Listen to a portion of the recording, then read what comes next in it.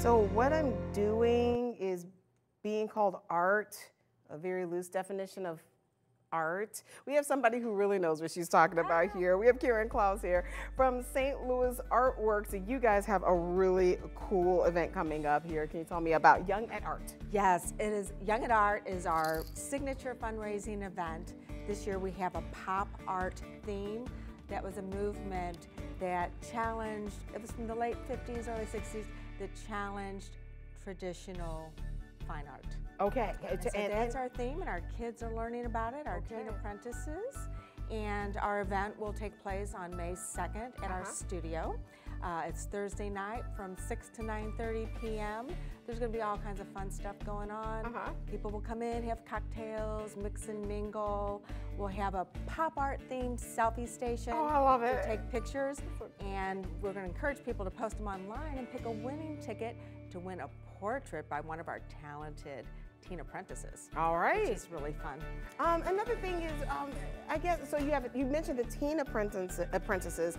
How old are these uh, other students? Uh, are there other age ranges with, within this program? Good question. Our kids are 14 to 19 years old.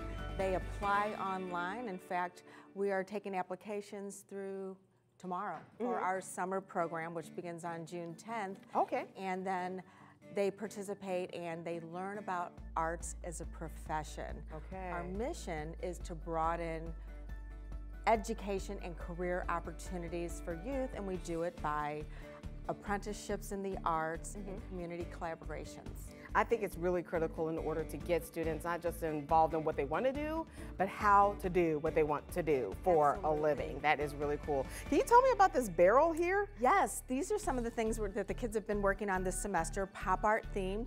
This is a, a prototype for it. They used a juice bottle. And then we're also going to be selling these on April 27th No at Artworks. way. We're going to have a sale.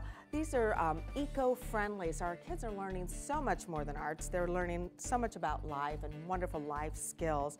And they've painted these. We're going to have them also at our event, along with other great auction items. All right, all right, everybody. We have Young at Art at St. Louis Artworks, May 2nd, 6 to 9:30 p.m., 5959 Delmar Boulevard. Just go to Eventbrite and search Young at Art 2019 or visit stlartworks.org. And look at what I designed. That's right, I did this. No, not not really, not really. But I can learn. Let's go ahead and send it back in for some more news. All right.